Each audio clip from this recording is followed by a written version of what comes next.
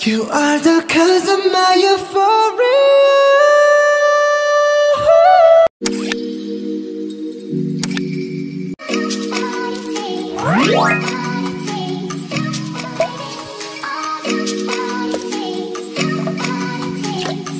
Assalamualaikum, welcome back to my video. Siapa nih yang masih pakai cara cukur dengan silet ataupun alat cukur lainnya untuk menghilangkan bulu keti? Padahal dengan cara ini malah bikin kasar, mudah terluka dan makin bikin tebal bulu keti nantinya atau dengan cara waxing. Baru dengar kata waxing saja saya pribadi takut banget karena kebayangkan rasa sakit dan perihnya itu loh. Apalagi dengan cara dicabut satu persatu pasti rasanya sakit banget. Meskipun aku belum pernah coba ya waxing ataupun dicabut persatu. Padahal sebagai perempuan sangat ingin punya kulit mulus dan bebas bulu terkhusus area keti. Kan kalau keti kita mulus nggak ada bulu bisa nambah kepercayaan diri kita kan. Tapi gitu deh, kita nggak mau ribet dan kesakitan kesakitan. Tenang, aku ingin rekomendasikan satu produk yang menjawab permasalahan kita. Produk ini nggak nyakitin dan praktis banget diaplikasikan. Ya benar banget yang kalian lihat di video, yaitu Fit Hair Removal Cream. Fit memiliki tiga varian produk, yaitu untuk kulit normal, kulit kering, dan kulit sensitif. Ketiganya memiliki kemasan kotak yang sama, cuman beda warna saja. Untuk kulit normal warna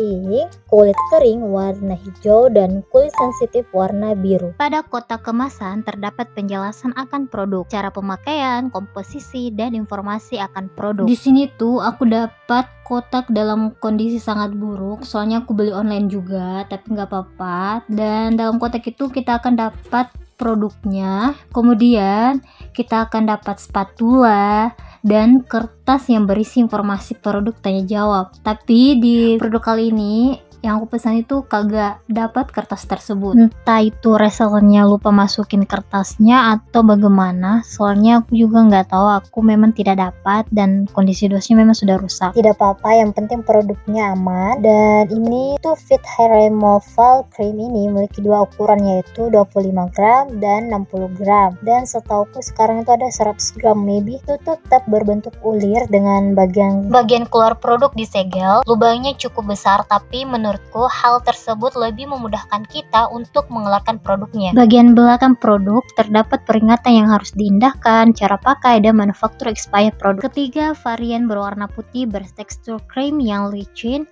baunya sangat menyengat, tapi harus diingat, Fit Hair Removal Cream hanya cocok untuk penggunaan di kaki, tangan, ketiak, dan garis paha atas, selain itu tidak disarankan. Ingat ya, cara pemakaian Fit Hair Removal Cream gampang banget. Cukup ikuti langkah seperti berikut. Pertama, kulit dalam keadaan bersih dan kering. Kedua, gunakan spatula yang ada di dalam kemasan. Aplikasikan fit pada punggung spatula sebanyak mungkin. Terus, oleskan secara tebal dan merata pada bagian yang ingin dicut bulunya. Keempat, diamkan selama 3-6 menit. Jangan biarkan lebih dari 10 menit. Kemudian, bersihkan dan angkat bulu dengan spatula, bilas dengan air dan keringkan. Fit cream penghilang bulu tidak akan membuat kulitmu iritasi. Sedikit saran, sebelum penggunaan fit cream, bilaslah ketimu dengan air hangat. Ini dilakukan untuk membuka pori-pori dan membersihkan kulit. Lakukan hal yang sama setelah penggunaan. Langkah ini mudah dan membuat ketimu timu lebih mulus dan bebas bulu. Fit menghilangkan bulu hingga dekat ke akar bahkan untuk rambut-rambut halus sekalipun. Cream Fit menghilangkan bulu hingga dekat ke akar dengan hasil dua kali lebih baik. Kulitmu akan lebih halus dan lembut disentuh hingga pertumbuhan bulu lebih lama dibandingkan menggunakan alat cukur lainnya. Adapun sisi positif dan negatifnya, positifnya pertama mengangkat bulu tanpa sakit, gampang dipakai, tersedia tiga jenis kulit, tidak bikin kering, saat bulu tumbuh tidak terasa kasar, murah, dan gampang ditemukan. Adapun minusnya itu baunya sangat menyengat. Kedua, tidak bisa dipakai di beberapa bagian tubuh. Aku kasih nilai 9 dari 10. Harganya 21.500. Link di deskripsi bawah. Video selanjutnya mau dibuatin video apa lagi nih? Silahkan tulis di komentar. See you next video. Semoga membantu. Terima kasih. Wassalam.